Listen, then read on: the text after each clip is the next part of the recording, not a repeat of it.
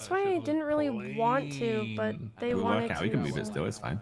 Yeah, You have an MP5, bro? Don't worry. just disappointing. It's yeah, no, it'd be, security for the it's one of them casino. things.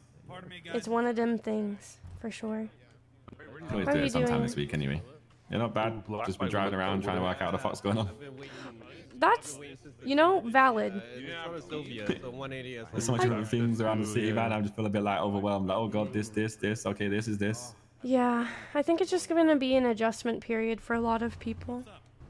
Trying to that way. figure out what the fuck we can even do anymore. Uh, hey, uh, Shane. Oh yeah. Yeah, we'll see. Just think let's wait for today to, uh, you know, kind of pass over, and we'll see how everything goes. Yeah. there a hate? Today's Don't just gonna be it for now, chaos, you know? Yeah. Yeah. Don't I think about it appreciate today. you. Just, you know, just do your shit. Live your life. Yeah. I think the white I appreciate you, Tommy.